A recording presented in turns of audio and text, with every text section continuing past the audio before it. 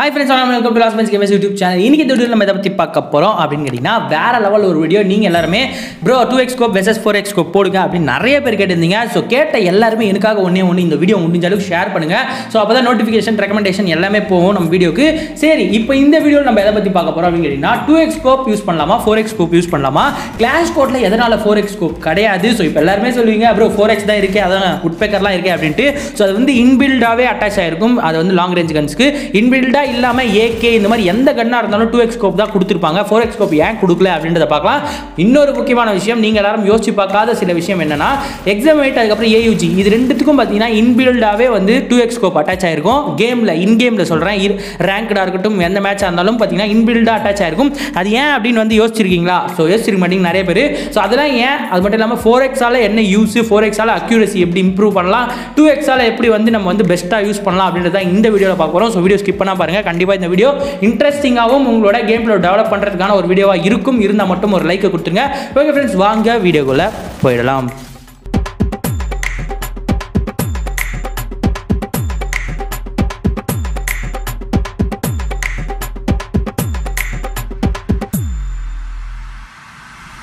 Okay மக்களை பார்த்தீங்கன்னா நம்ம வீடியோக்குள்ள வந்துட்டோம். ஃபஸ்ட்டு நம்ம தெரிஞ்சுக்க போகிற விஷயம் என்ன அப்படின்னு கேட்டிங்கன்னா two x scope four x scope சரி அதெல்லாம் இருக்கட்டும். ஸ்கோப் ஃபஸ்ட் நம்ம எதுக்கு யூஸ் பண்ணுறோம் அப்படின்றத சிம்பிளாக சொல்லிடுறேன்.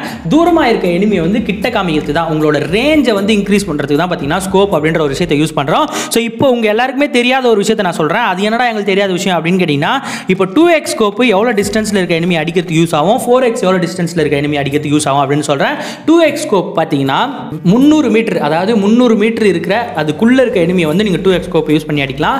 இதுவே ஃபோர் எக்ஸ் வந்து பார்த்தீங்கன்னா நானூறு மீட்டர் வரைக்கும் ஒர்க் ஆகும். நானூறு மீட்டருக்குள்ளே இருக்க எனிமி வந்து ஃபோர் எக்ஸ் ஸ்கோப் யூஸ் பண்ணி அடிக்கலாம். இப்போ உடனே வந்து சில பேர் போயிட்டு டெஸ்ட் பண்ணிட்டு ஃபைவ் ஹண்ட்ரட் மீட்டர்லேயே ஃபோர் எக்ஸ் ஸ்கோப் ஒர்க் ஆகுது அப்படின்னீங்கன்னா அது வந்து எஃபெக்டிவாக இருக்காது. ஸோ நான் கூகுளில் பண்ண வரைக்கும் கூகுளில் இருந்தது வந்து பார்த்தீங்கன்னா இவ்வளோ தூரத்தில் இருக்க எனிமியை வந்து நீங்கள் ஃபோர் எக்ஸ் ஸ்கோப் வச்சு யூஸ் பண்ணால் எஃபெக்டிவாக இருக்கும் அப்படின்ற மாதிரி போட்டிருக்காங்க.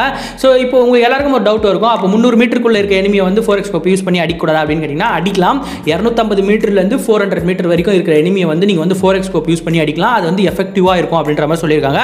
அதுக்குள்ளே இருக்க எனிமி அடிக்கிறதுக்கு வந்து உங்களுக்கு வந்து பார்த்தீங்கன்னா டூ எக்ஸே போதுமானது அப்படின்ற மாதிரியும் போட்டிருந்தாங்க. ஸோ அதனால் தான் அதை நான் ஜஸ்ட் உங்களுக்கு கொடுக்கணும் அப்படின்னு நினச்சா கொடுத்தாச்சு. ஸோ இப்போ வந்து பார்த்தீங்கன்னா நம்ம ஸ்டேட்டாக நம்ம ஃப்ரீ ஃபயர் கம்பேரிசனுக்குள்ளே போயிடலாம். ஸோ ஃப்ரீ ஃபயரில் ஃபஸ்ட்டு நீங்கள் தெரிஞ்சுக்க வேண்டிய விஷயம் என்ன அப்படின்னு கேட்டிங்கன்னா ஓகே மக்களே ஃபஸ்ட்டு விஷயம்னா இப்போ கிளாஷ் கோட்டில் எதுக்கு வந்து டூ எக்ஸ் ஸ்கோப் மொட்டை இருக்குது ஃபோர் எக்ஸ் ஸ்கோப் ஏன் இல்லை? அதாவது எல்லா ஏகே வழியாக இருக்கட்டும் எதுலையாக இருக்கட்டும் நம்மளுக்கு வந்து தோணுறது என்னன்னா ஃபோர் எக்ஸ் ஸ்கோப் இருந்தால் நம்ம வேறு லெவலில் அடிக்கலாம் அப்படின்னு நினச்சிருந்துப்பீங்க ஆனால் வந்து எதுக்கு ரீசன் அப்படின்னு கேட்டிங்கன்னா ஃபஸ்ட்டு சொன்னது தான் ஸோ இந்த முந்நூறு மீட்டருக்குள்ளே வந்து கிளாஷ் கோட் எப்படி இருந்தாலும் எனிமி இருப்பாங்க. ஸோ அதனால தான் பார்த்தீங்கன்னா உங்களுக்கு டூ எக்ஸ் ஸ்கோப் மட்டும் கொடுத்துருக்காங்க. ஃபோர் எக்ஸ் ஸ்கோப் வந்து தேவைப்படாது அப்படின்ற மாதிரி உங்களுக்கு ஃபோர் எக்ஸ் ஸ்கோப் கொடுத்துருக்காங்க. சரி இப்போ ஃபோர் எக்ஸ் ஸ்கோப் எப்போ யூஸ் பண்ணலாம்? டூ எக்ஸ் ஸ்கோப் எப்போ யூஸ் பண்ணலாம் அப்படின்றத பாருங்கள் இப்போ டூ எக்ஸ் ஸ்கோப் வந்து நீங்கள் யூஸ் பண்ணுற ஷார்ட் ரேஞ்ச் கன்ஸ் அதாவது எம்பி ஃபைவ் யூஎம்பி அதுக்கப்புறம் நீங்கள் ரேங்க்டு மேட்ச்லாம் ஷார்ட்டில் தான் நான் போய் அடிப்பேன் நல்லா அப்படின்றீங்கன்னா நீங்கள் தாராளமாக வந்து டூ எக்ஸ் ஸ்கோப் யூஸ் பண்ணலாம். ஸோ நீங்கள் எல்லாரும் இப்போ கேட்கலாம் நான் ஸ்கோப்பே யூஸ் பண்ண மாட்டேன் நார்மலாக ட்ராக் பண்ணிடுவேன் அதாவது மிட் ரேஞ்செலாம் போனால் அப்படின்ட்டு. அதை விட வந்து நீங்கள் ஃபேமஸ்லாம் யூஸ் பண்ணும்போது நீங்கள் இன் அண்ட் அவுட் போட்டிங்கன்னா மிட் ரேஞ்சில் போயிட்டு நீங்கள் இன் அண்ட் அவுட் போட்டிங்கன்னா ஃபேமஸில் இருபத்தி மூணு டேமேஜ் கிட்ட கொடுக்கும் ஸ்கின்னே இல்லாமல் ஸோ அந்த இருபத்தி மூணு டேமேஜ் மூணு தடவை கொடுக்கும் மூணு புல்லட் கரெக்டாக போட்டதுன்னா எய்ம் லாக் கரெக்டாக ஆகணும் அப்படின்னு நினச்சிங்கன்னா நீங்கள் ஃபேமஸ்லாம் பொறுத்த வரைக்கும் டூ எக்ஸ் ஸ்கோப் யூஸ் பண்ணால் தான் கரெக்டாக எய்ம் லாக் ஆகும். ஸோ அதில் இருபத்தி மூணு இருபத்தி மூணு இருபத்தி மூணு நீங்களே போட்டுக்கோங்க. ஒரு அறுபத்தி ஒம்பது டேமேஜ் கிட்ட போயிடும். ஒரு தடவை நீங்கள் ஃபயர் பண்ணும்போதே கரெக்டாக பட்டதுன்னா அப்படியே பதினஞ்சு டேமேஜ் கொடுத்தா கூட நாற்பத்தஞ்சு டேமேஜ் போயிடும். ஸோ அதுதான் பார்த்தீங்கன்னா ஃபேமஸ்லலாம் இருக்க ஒரு பவர் ஸோ ஃபேமஸ்லாம் நீங்கள் கரெக்டாக யூஸ் பண்ணோம். இன் அண்ட் அப்படின்னு நினச்சிங்கன்னா டூ எக்ஸ் ஸ்கோப் யூஸ் பண்ணுங்கள் மிட் ரேஞ்சை பொறுத்த வரைக்கும் ஸோ புரிஞ்சு புரிஞ்சிருக்கும்னு நினைக்கிறேன். ஸோ ஒரு எனிமி நீங்கள் வந்து மிட் ரேஞ்சில் அடிக்கும்போது அதுவும் இல்லாமல் ஷார்ட் ரேஞ்ச் கன்ஸுக்குலாம் பார்த்தீங்கன்னா நீங்கள் வந்து டூ எக்ஸ் தான் யூஸ் பண்ணணும். ஸோ இப்போ பேக்ரவுண்டில் ஒரு கிளிப்பு பாருங்கள் உங்களுக்கு கிளியராக புரியும். ஸோ இப்போ வந்து என்னை வந்து லாக் பண்ணிட்டாங்க. நான் வந்து அழகாக இப்போ எப்படி வந்து ஸ்கோப் இன் அண்ட் அவுட் பாருங்கள் அழகாக நீங்கள் வந்து மண்டையிலேயே கூட வச்சு அடிக்கலாம் இன் அண்ட் அவுட்டை ஸோ இதில் ஒரு பெரிய அட்வான்டேஜ் என்னன்னா நீங்கள் ஷார்ட் ரேஞ்சில் ஃபோர் எக்ஸ் ஸ்கோப் யூஸ் பண்ணும்போது உங்களோட புல்லட் வந்து என்ன ஆகும்னா எனிமி கூட செதறிடும். ஏன்னா ஃபோர் எக்ஸ் ஸ்கோப் ரொம்ப ஜூமிங் போடுறதுனால எனிமி வந்து அதுக்குள்ளேயே இருக்க மாட்டாங்க. அந்த ஃபோர் எக்ஸ் அந்த கரெக்டாக அந்த மார்க் இருக்கும் ஃபோர் எக்ஸில் அதுக்கு உள்ளேயே இருக்க மாட்டாங்க. எங்க எங்கேயோ செதறி அப்படியே வந்து சில டைம் உங்களுக்கு ஃபோர் எக்ஸ் ஸ்கோப் யூஸ் பண்ணும்போது ரொம்ப ஷார்ட் ரேஞ்சில் நீங்கள் ஃபுல் கண்ட்ரோல் விளாட்ற ஃபீலிங் உங்களுக்கு வந்திருக்கும். ஸோ அதுக்கான ரீசன் அதுதான். இதுவே டூ எக்ஸ் ஸ்கோப்பாக இருந்ததுன்னா நீங்கள் பார்த்துருப்பீங்க பின்னாடி கரெக்டாக எனிமியோட உடம்புல போயிட்டு அந்த ரவுண்ட் வந்து லாக் ஆகிடும் ஏன்னா குட்டியாக அந்த இது எய்ம் இருக்கிறதுனால கரெக்டாக போய் லாக் ஆகிடும் ஸோ அதனால் ஒரு ஷார்ட் ரேஞ்ச் ஃபைட் நீங்கள் எடுக்க போகிறீங்க ஷார்ட் ரேஞ்ச் கனில் வந்து எப்போவுமே நீங்கள் டூ எக்ஸ் ஸ்கோப் மட்டும் தான் போடணும். ஃபோர் எக்ஸ் ஸ்கோப் போடவே கூடாது. ஓகே மக்களே இன்னும் கிளியராக வந்து உங்களுக்கு மைன்யூட்டாக ஒரு விஷயம் காமிக்கிறேன் ஒரு கிளிப்பு ஸோ இந்த கிளிப் எடுக்கிறதுக்கு ரொம்பவே கஷ்டப்பட்டேன். அதனால ஒரு லைக் கொடுத்துருங்க. ஸோ இப்போ பாருங்கள் டூ எக்ஸ் ஸ்கோப்பில் வந்து நான் வந்து ஷார்ட் ரேஞ்சில் விளையாடி காமிக்கிறேன். ஸோ இப்போ வந்து ஒரு எனிமி இருக்கார். ஸோ அந்த எனிமியை வந்து நான் வந்து எப்படி அடிக்கிறேன் டூ எக்ஸ் யூஸ் பண்ணி அப்படின்றத பாருங்கள் நல்லா நோட் பண்ண வேண்டிய விஷயம் என்னன்னா ஃபஸ்ட்டு புல்லட் ஸோ ஃபஸ்ட்டு புல்லட்டை நல்லா நோட் பண்ணுங்கள் எகிர்றேன் ஸ்கோப் போடுறேன். ஃபஸ்ட்டு புல்லட்டே எனிமி மேலே படுது டேமேஜ் போகுது. ஸோ அதுவும் இல்லாமல் அந்த ஸ்கோப் வந்து நான் இன்னும் டோட் போடும்போது எனிமிக்குள்ள எப்படி ட்ராவல் ஆகுது பார்த்தீங்களா எனிமி மேலேயே ட்ராவல் ஆகுது. இதுவே நீங்கள் வந்து இந்த அளவுக்கு க்ளோசர் ரேஞ்சில் ஃபோர் எக்ஸ் வந்து இது மாதிரி பர்ஃபார்ம் பண்ணுவான்னு கேட்டால் பர்ஃபார்ம் பண்ணவே பண்ணாது. ஏன்னா ஸ்கோப் ஃபுல்லாக எனிமி வந்து கவர் ஆகிடுவாங்க ரேஞ்ச் வந்து அதிகமாக இருக்கும். அதனால் எனிமி வந்து ஸ்கோப்பை விட பெருசாக இருக்கிறதுனால அதால் கரெக்டாக கெஸ் பண்ணி எனிமி மேலே பட வைக்க முடியாது. பாருங்க ஃபஸ்ட்டு புல்லட் எவ்வளோ ரீக் ஆயிடுன்ட்டு ஸோ ஃபஸ்ட்டு புல்லட் அங்கே அடிச்சுட்டு அதுக்கப்புறமா வந்து தான் பார்த்தீங்கன்னா சார் ஒரு மூணாவது நாலாவது புல்லட் தான் இது மேலே படுது. ஸோ ரீசன் என்ன அப்படின்னு கேட்டிங்கன்னா எனிமி வந்து ரொம்ப ஜூமில் இருப்பாங்க. அதனால் வந்து டக்குன்னு வந்து போய் எய்ம் வந்து லாக் ஆகாது. ஸோ அதனால் வந்து நீங்கள் என்ன பொறுத்தவரையும் க்ளோஸ் ரேஞ்சில் ரொம்ப ஷார்ட் ரேஞ்சில் டூ எக்ஸ் கோப்பு ஷார்ட் ரேஞ்ச் கன் யூஸ் பண்ணுங்கள் ஸோ இன்னொரு முக்கிய முக்கியமான விஷயம் சிம்பிளாக ஒன்று சொல்கிறேன் ட்ராக் அடிக்கிற கன் எல்லாத்துக்குமே நீங்கள் ஃபோர் எக்ஸ் யூஸ் பண்ணலாம். ட்ராக் அடித்து விளாட போகிறோம் அப்படின்னா நீங்கள் இன் அண்ட் அவுட் போட போகிறேன் அப்படின்ற மாதிரி இருந்தால் இந்த ஃபேமஸாக இருக்கட்டும் எதுக்காக இருக்கட்டும் நீங்கள் வந்து டூ எக்ஸ் யூஸ் பண்ணிங்கன்னா வேறு லெவலில் பர்ஃபார்ம் பண்ணும். ஸோ அதனால் வந்து ட்ரை பண்ணி பாருங்கள் கண்டிப்பாக நல்ல ஒரு ரிசல்ட் கொடுக்கும். ஸோ ஓகே இப்போ இன்னொரு விஷயம் என்ன அப்படின்னு கேட்டிங்கன்னா எக்ஸமைட் ஏயூஜி அந்த ரெண்டு கண்ணுக்கும் ஏன் வந்து இன்பில்டாக டூ எக்ஸ் ஸ்கோப் கொடுத்துருக்காங்க? ஸோ அதுக்கப்புறம் எஸ்கேஎஸ் விஎஸ்எஸ் டிராகன் உட்பெக்கர் இதுக்கெலாம் ஏன் இன்பில்டாக ஃபோர் எக்ஸ் கொடுத்துருக்காங்க அப்படின்னு நிறைய பேருக்கு டவுட் இருக்கும். ஸோ அதுக்கான ரீசன் என்னன்னா இந்த ஃபோர் எக்ஸ் இன்பில்டாக கொடுத்துருக்காங்க பார்த்தீங்களா இதெல்லாம் பவர்ஃபுல்லான கன்று லாங் ரேஞ்சில் வேற லெவலில் பர்ஃபார்ம் பண்ணக்கூடிய கன்று அப்படின்றத மென்ஷன் பண்ணுறதுக்காக தான் அவங்க வந்து அட்டாச்மெண்ட் இன்பில்டாகவே கொடுத்துருக்காங்க. அது மட்டும் இல்லாமல் எக்ஸமைட் ஆக அதெல்லாம் பார்த்தீங்கன்னா மிட் ரேஞ்சில் வந்து வேறு லெவலில் பர்ஃபார்ம் பண்ணோம். ஸோ அதனால் வந்து இன்பில்டாக வந்து உங்களுக்கு வந்து டூ எக்ஸ் கொடுத்துருக்காங்க. ஏயூஜியில் நீங்கள் எல்லாம் நினைக்கலாம் ஃபோர் எக்ஸ் கூட தான் போடுற மாதிரி இருக்குது அப்படின்ட்டு.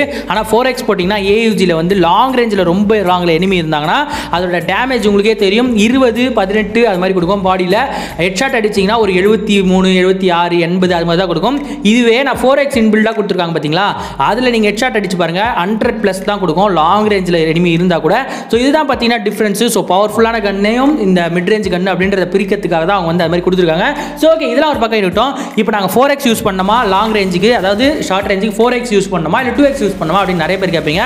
என்னை பொறுத்தவரையும் ஃபேமஸ் அந்த மாதிரி இன் அண்ட் அவுட் ஃபாஸ்ட்டாக பண்ணக்கூடிய கன்ஸுக்குலாம் நீங்கள் வந்து டூ எக்ஸ் யூஸ் பண்ணலாம். எய்ம் வந்து கரெக்டாக லாக் ஆகும். அது மட்டும் இல்லாமல் ரேங்க்டு டோர்னமெண்ட் ஏன்டா வெளியில் வந்து ஃபோர் எக்ஸ் டோர்னமெண்ட்னு வச்சிருக்கேன் ரேங்க்டுக்கு வந்து ஏன்டா டூ எக்ஸ்னு வச்சிருக்கேன் அப்படின்னு நிறைய பேர் கேட்பீங்க. ஸோ டூ எக்ஸ் வந்து ஏன் ரேங்க்டு நான் வச்சேன்னா மோஸ்ட்லி ரேங்கடில் வந்து நம்ம ரஷ் பண்ணி தான் ப்ளே பண்ணுவோம். அதனால் எனிமி கிட்ட போயிடுவோம். ஸோ மிட் ரேஞ்ச் எடுத்துருவோம். அதனால் டூ எக்ஸ் ஸ்கோப் யூஸ் பண்ணி அடிக்கிறது என்னை பொறுத்தவரையும் பெஸ்ட்டாக பெஸ்ட்டாக இருக்கும். ஏன்னா கிட்ட இருக்கிற எனிமிக்கு வந்து நல்லாவே டூ எக்ஸ் பர்ஃபார்ம் பண்ணும். எக்ஸாமேட்லாம் எடுத்து உங்களுக்கே தெரியும். நீங்கள் அடிச்சிங்கன்னா பியூராக ரெட் நம்பர் போவோம். கிட்ட இருக்க எனிமிக்கு ஸோ இதுதான் ரீசன் ரேங்க் நான் வச்சதுக்கு. டோர்னமெண்ட்டுக்கு அப்போ ஃபோர் எக்ஸ் வச்சேன் அப்படின்னு கேட்டிங்கன்னா டோர்னமெண்ட் மோஸ்ட்லி நம்ம லாங் ரேஞ்சில் இருந்தால் ஃபைட் அடிப்போம். அதுவும் இல்லாமல் க்ளூ எல்லாம் பிரேக் பண்ணுவோம். ஸோ அதனால் வந்து ரேஞ்ச் உங்களுக்கு நல்லாவே கிடைக்கும். ஹெட் ஷாட்டும் ட்ராக் பண்ணும்போது ஃபோர் எக்ஸ் தான் பெஸ்ட்டாக ஹெட் ஷாட் விழும் லாங் ரேஞ்சில் இருக்கும்போது அதனால் வந்து உங்களுக்கு ஃபோர் எக்ஸ் வச்சிருப்பேன். ஸோ கிளியராக எனிமி தெரிவாங்க. உங்களுக்கு வந்து இங்கே தான் ஓடுறான். அது முதல் கொண்டு எல்லாமே தெரியும். அதனால் ஃபோர் எக்ஸ் வச்சேன். ஸோ இதுதான் ரீசன் ஸோ ரேங்க்டுக்கு வந்து நீங்கள் தாராளமாக வந்து ஃபோர் எக்ஸே யூஸ் பண்ணலாம். ஸோ டூ எக்ஸ் எப்போ யூஸ் பண்ணலாம் அப்படின்னு கேட்டிங்கன்னா நீங்கள் வந்து ஷார்ட் ரேஞ்சில் அதாவது வி அந்த என்னப்பா அது எம்பி ஃபைவ் இருக்கட்டும் யூஎம்பியாக இருக்கட்டும் இந்த மாதிரி கண்ணுக்கு தயவு செஞ்சு ஃபோர் எக்ஸ் மட்டும் போட்டுறாதீங்க. போட்டிங்கன்னா பயங்கரமாக ரீகாயில் ஆகும் ஸோ டூ எக்ஸ் போட்டிங்கன்னா எய்ம் வந்து கரெக்டாக லாக் ஆகும். ஸோ ஷார்ட் ரேஞ்சுக்கு நீங்கள் டூ எக்ஸ் யூஸ் பண்ணலாம். லாங் ரேஞ்சுக்கு வந்து நீங்கள் ஃபோர் எக்ஸே யூஸ் பண்ணலாம். ஏன்னா ஷார்ட் ரேஞ்சில் நம்ம இப்போ யாருமே அந்த ட்ராக் வந்து அடிக்கிறதே கிடையாது. ஸ்கோப் போட்டலாம். ஷார்ட் ரேஞ்சில் enemy இருக்கும்போது ஸ்கோப்பே போடாமல் ஆட்டோமேட்டிக்காக ட்ராக் பண்ணி தான் ஹெட் அடிக்கிறோம். ஸோ அதனால் என்னை பொறுத்தவரையும் நீங்கள் வந்து ஷார்ட் ரேஞ்சுக்கு டூ எக்ஸ் யூஸ் பண்ணலாம் லாங் ரேஞ்சுக்கு ஃபோர் எக்ஸ் யூஸ் பண்ணலாம். ஸோ இன்னொரு முக்கியமான விஷயம் சில டிப்ஸ் சொல்கிறேன் அதை நோட் பண்ணிக்கோங்க. அவங்க எல்லாருமே நிறைய பேர் சில பேருக்கு தெரிஞ்சிருக்கும். நம்ம பழைய சப்ஸ்கிரைபர் இருந்தால் பல பேருக்கு தெரியாமல் இருக்கிறதுக்கு வாய்ப்பு இருக்குது ஏன்னா ஐம்பது பர்சன்டேஜ் பேர் வந்து சப்ஸ்கிரைப் பண்ணால் பார்க்குறீங்க மறக்காம சப்ஸ்கிரைப் பண்ணிக்கோங்க. கூடிய கூடிய சீக்கிரமே நம்ம த்ரீ லேக் சப்ஸ்கிரைபர்ஸ் போக போகிறோம் ஸோ ஓகே ரைட் இப்போ இந்த முக்கியமான விஷயத்தை நோட் பண்ணிக்கோங்க. இது வந்து ரொம்பவே யூஸ்ஃபுல்லாக இருக்கும். க்ளூவால் போடும்போது நிறைய பேர் என்ன பண்ணுவீங்கன்னா ஸ்கோப் போட்டு அடிச்சுனே இருப்பீங்க. ஸ்கோப் எடுத்துட்டு க்ளூவால் போடுவீங்க. அந்த தப்பு பண்ணாதீங்க. ஸோ ஸ்கோப் எடு எடுக்காமையே நீங்கள் வந்து க்ளூவால் ப்ரெஸ் பண்ணீங்கன்னா கையில் க்ளூவால் வந்துடும் அப்படியே க்ளூவால் போட்டுருங்க. இது நிறைய பேருக்கு தெரிஞ்சிருக்கும். இன்னொரு ஜென்ரல் பாயிண்ட் சொல்கிறேன் so high range low range so இந்த மாதிரி டைமில் நீங்கள் எப்போ ஸ்கோப் போடலாம் எப்போ ஸ்கோப் போடாமல் ஆடணும் அப்படின்னு கேட்டிங்கன்னா ஹை ரேஜில் நீங்கள் இருக்கீங்க. இப்போ வந்து ஒரு மேடு மேலே நீங்கள் இருக்கீங்க ஒரு மலைக்கு மேலே கீழே எனிமி இருக்கானா நீங்கள் ஸ்கோப் போட்டு தாராளமாக அடிக்கலாம். ட்ராக் பண்ணணும்னு அவசியமே கிடையாது. நார்மலாகவே பியூராக ரெட் நம்பர் போயிடும் மேலே இருந்து அடிக்கும்போது. இதுவே நீங்கள் ஆப்போசிட்டில் கீழே இருக்கீங்கன்னு வச்சுக்கோங்களேன். ஸ்கோப்பை மட்டும் ஓப்பன் பண்ணுறவே பண்ணுறாதீங்க ஏன் சொல்கிறேன்னா நீங்கள் ஸ்கோப் போட்டு ட்ராக் பண்ணுற டைமுக்குள்ளே எனிமி மேலேருந்து உங்களை அசால்ட்டாக அடிச்சுட்டு போயிடுவான். ஸோ அதனால் எப்பவுமே நீங்கள் லோ ரேஞ்சில் இருக்கும்போது ஸ்கோப் போடாமல் அடிக்கிறதுக்கு ட்ரை பண்ணுங்கள் அப்படி ஸ்கோப் போட்டு அடிக்கிறீங்கன்னா எனிமி வந்து ரொம்ப தூரத்தில் இருக்கணும். தூரத்தில் இருக்கும்போது உங்கள் டீம்மேட் வந்து யாராச்சும் உங்கள் கூட இருக்கணும் பேக்கப்புக்கு அது மாதிரி இருந்தால் மட்டும் ஸ்கோப் போட்டு அடிங்க. அப்போ தான் டக்குன்னு ரிவே பண்ணுவாங்க எனிமி கிட்ட வரதுக்குள்ள ஸோ அதனால் நல்லா நோட் பண்ணிக்கோங்க. நீங்கள் வந்து லோ ரேஞ்சில் இருக்கும்போது ஸ்கோப் வந்து ஓப்பன் பண்ணி அடிக்கிறத மோஸ்ட்லி அவாய்ட் பண்ணுறங்க ஸோ சில விஷயத்தில் சில சுச்சுவேஷனில் நீங்கள் யூஸ் பண்ணலாம். எப்போனா எனிமி ரொம்ப லாங்கில் இருப்பான். உங்களை நாக் பண்ணிட்டா கூட அவன் ரஷ் பண்ணுறதுக்கு ரொம்ப லேட் ஆகும். அது மாதிரிலாம் நீங்கள் வந்து ஈஸியாக ஸ்கோப் போட்டு அடிச்சிடலாம். ஸோ ரொம்ப மிடில் இருந்தாங்கன்னா நீங்கள் வந்து ஸ்கோப் ஓப்பன் பண்ணுறே பண்ணுறாதீங்க லோ ரீச்லேருந்து இருந்து இது ஒரு ஜென்ரல் பாயிண்டாக நான் சொல்லணும்னு நினச்சி சொல்லிட்டேன். ஸோ ஓகே ஃப்ரெண்ட்ஸ் இந்த வீடியோ ரொம்பவே யூஸ்ஃபுல்லாக இருந்திருக்கும்னு நினைக்கிறேன். கண்டிப்பாக இந்த வீடியோ ரொம்பவே ஹார்ட் ஒர்க் போட்டு தான் பண்ணியிருக்கேன். உங்களுக்கு தெரியாத நிறைய விஷயம் இந்த வீடியோ கண்டிப்பாக நீங்கள் கற்றுருந்துருப்பீங்க அப்படி கற்றுருந்தீங்கன்னா உங்கள் ஃப்ரெண்ட்ஸுக்கு ஒருத்தருக்கோ ரெண்டு பேருக்கும் இந்த வீடியோ ஷேர் பண்ணி விட்டுருங்க. ஃபைனலாக இந்த வீடியோ நான் சொல்ல வரது என்னன்னா ஷார்ட் ரேஞ்ச் கண்ணுக்கு டூ எக்ஸ் லாங் ரேஞ்ச் கண்ணுக்கு ஃபோர் எக்ஸ் ஃபேமஸுக்கு வந்து டூ எக்ஸ் போட்டு யூஸ் பண்ணி பாருங்கள் செம்மையாக இருக்கும். ஸோ அதான் ஃப்ரெண்ட்ஸ் இந்த வீடியோ இந்த வீடியோ பிடிச்சிருந்தா லைக் ஷேர் சப்ஸ்கிரைப் எல்லாமே பண்ணுறேங்க இந்த மாதிரி ஒரு நல்ல வீடியோ சந்திக்கிறேன். Bye friends bye